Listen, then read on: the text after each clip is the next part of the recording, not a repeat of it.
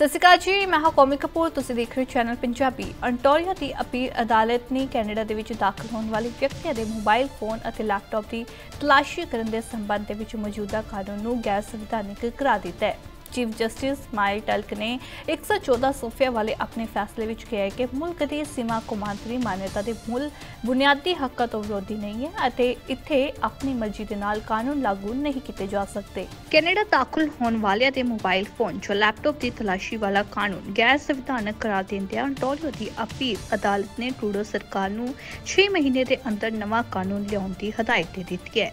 Chief justice Michael ਟਲਕ ਨੇ ਆਪਣੇ 114 ਸਫ਼ਿਆਂ ਦੇ ਫੈਸਲੇ ਵਿੱਚ ਕਿਹਾ ਹੈ ਕਿ ਮੁਲਕ ਦਾ ਬਾਰਡਰ ਕੋਈ ਚਾਰਟਰ ਮੁਕਤ ਚੋਣ ਨਹੀਂ ਹੈ ਅਤੇ ਇੱਥੋਂ ਆਪਣੀਆਂ ਮਨਮਰਜ਼ੀ ਤੇ ਨਹੀਂ ਕੀਤੀ ਜਾ ਸਕਦੀ। ਅਦਾਲਤ ਨੇ ਵੀ ਕਿਹਾ ਕਿ ਮੁਸਾਫਰ ਦੇ ਫੋਨ, ਟੈਬਲੇਟ ਜਾਂ ਫਿਰ ਲੈਪਟਾਪ ਦੀ ਤਲਾਸ਼ੀ ਲੈਣ ਦਾ ਵੱਡਾ ਕਾਰਨ ਹੋਣਾ ਚਾਹੀਦਾ ਹੈ ਅਤੇ ਅਜਿਹੇ ਦੇ ਵਿੱਚ ਮੌਜੂਦਾ ਕਾਨੂੰਨ ਸਿੱਧੇ ਤੌਰ ਉੱਤੇ ਲੋਕਾਂ ਦੇ ਬੁਨਿਆਦੀ ਹੱਕਾਂ ਦੀ ਉਲੰਘਣਾ ਕਰਦਾ ਹੈ। Charter of rights and freedom ਅਧੀਨ ਨਿੱਜੀ ਵਸਤਾਂ ਦੀ ਗੈਰ ਜ਼ਰੂਰੀ ਤਲਾਸ਼ੀ ਲੈਣੀ ਬਿਲਕੁਲ ਵੀ ਵਾਜਬ ਨਹੀਂ ਹੈ।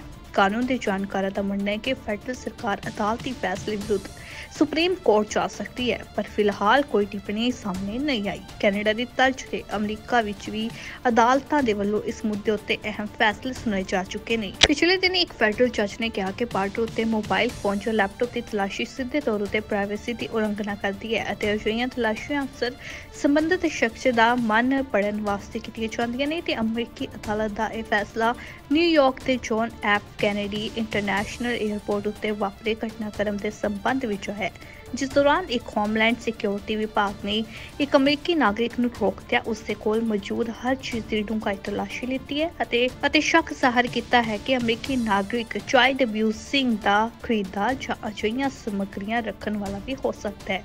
ਬਰਡ ਅਫਸਰ ਨੇ ਉਸ ਦੇ ਕੋਲੋਂ ਮੋਬਾਈਲ ਫੋਨ ਦਾ ਪਾਸਵਰਡ ਹਾਸਲ ਕਰਦਿਆਂ ਚਾਰ ਵੀਡੀਓਜ਼ ਬਰਾਮਦ ਕੀਤੀਆਂ, ਪਰ ਨਿਊਯਾਰਕ ਦੇ ਪੂਰਬੀ ਜ਼ਿਲ੍ਹੇ ਦੇ ਅਦਾਲਤੀ ਨੇ ਅਮਰੀਕਾ ਨਾਗਰਿਕੀ ਦੇ ਵੱਲੋਂ ਦਾਇਰ ਅਰਜ਼ੀ ਨੂੰ ਨਾ ਰੱਦ ਕਰਦਿਆਂ ਸਿੱਟਾ ਕੱਢਿਆ ਕਿ ਬਗੈਰ ਵਾਰੰਟਾਂ ਤੋਂ ਮੋਬਾਈਲ ਫੋਨ ਜਾਂ ਲੈਪਟਾਪ ਦੀ ਤਲਾਸ਼ੀ ਲੈਣੀ ਸੰਵਿਧਾਨਕ ਹੱਕਾਂ ਦੀ ਉਲੰਘਣਾ ਕਰਦੀ ਹੈ।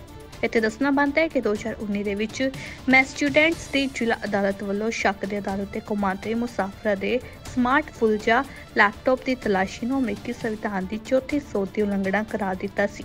ਪਰ 2021 ਵਿੱਚ ਉਹ ਅਦਾਲਤ ਨੇ ਇਹ ਫੈਸਲਾ ਲਾਂਬੇ ਕਰ ਦਿੱਤਾ।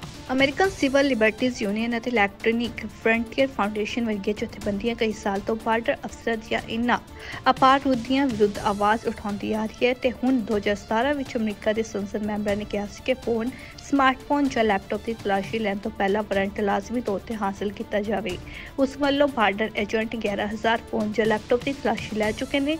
ਹੁਣ ਕੈਨੇਡੀਅਨ ਨਾਗਰਿਕ ਦੇ ਹੱਕ ਵਿੱਚ ਇਹ ਫੈਸਲੇ ਵਿਰੁੱਧ ਟਰੂਡੋ ਸਰਕਾਰ ਦੀ ਰੁਖ ਅਖਤਿਆਰ ਕਰਦੀ ਹੈ, ਇਹ ਸਮਾਂ ਦੱਸੇਗਾ। ਜ਼ਿਕਰਯੋਗ ਹੈ ਕਿ ਮੈਸਾਚੁਸੇਟਸ ਦੇ ਜ਼ਿਲ੍ਹਾ ਅਦਾਲਤ ਨੇ 2019 ਦੇ ਵਿੱਚ ਸੰਬੰਧਿਤ ਕਿਹਾ ਸੀ ਕਿ ਵਿਦੇਸ਼ੀ ਮੁਸਾਫਰਾਂ ਦੇ ਫੋਨ ਜਾਂ ਲੈਪਟਾਪ ਦੀ ਤਲਾਸ਼ੀ ਸੰਵਿਧਾਨਕ ਹੱਕਾਂ ਦੀ ਉਲੰਘਣਾ ਕਰਦੀ ਹੈ, ਪਰ 2021 ਦੇ ਵਿੱਚ ਉੱਚ ਅਦਾਲਤ ਨੇ ਇਸ ਫੈਸਲੇ ਨੂੰ ਰੱਦ ਕਰ ਦਿੱਤਾ ਸੀ। ਅਮਰੀਕੀ ਸਿਵਲ ਲਿਬਰਟੀਜ਼ ਯੂਨੀਅਨ ਅਤੇ ਇਲੈਕਟ੍ਰੋਨਿਕ ਫਰੰਟੀਅਰ ਫਾਊਂਡੇਸ਼ਨ ਵਰਗੀਆਂ ਸੰਸਥਾਵਾਂ ਇਸ ਮੁੱਦੇ ਉੱਤੇ ਲੰਬੇ ਸਮੇਂ ਤੋਂ ਆਪਣਾ ਆਵਾਜ਼ ਉਠਾ ਰਹੀਆਂ ਨੇ। ਹੁਣ ਦੇਖਣਾ ਹੈ ਕਿ ਟਰੂਡੋ ਸਰਕਾਰ ਇਸ ਨਵੇਂ ਫੈਸਲੇ ਨੂੰ ਲੈ ਕੇ ਕੀ ਕਾਰਵਾਈ ਕਰਦੀ ਹੈ ਅਤੇ ਨਵਾਂ ਕਾਨੂੰਨ ਕਦੋਂ ਤੱਕ ਲਿਆਉਂਦੀ ਹੈ। Bureau report, channel Punjabi. ਸਾਡਾ ਹਰ ਇੱਕ ਪ੍ਰੋਗਰਾਮ ਦੇਖਣ ਤੇ ਸਾਡੇ ਨਾਲ ਜੁੜਨ ਲਈ ਸਬਸਕ੍ਰਾਈਬ ਕਰੋ। ਚੈਨਲ ਪੰਜਾਬੀ ਤੇ ਨੋਟੀਫਿਕੇਸ਼ਨ ਲਈ ਬੈਲ ਆਈਕਨ ਵਾਲੇ ਬਟਨ ਤੇ ਕਲਿੱਕ ਕਰੋ।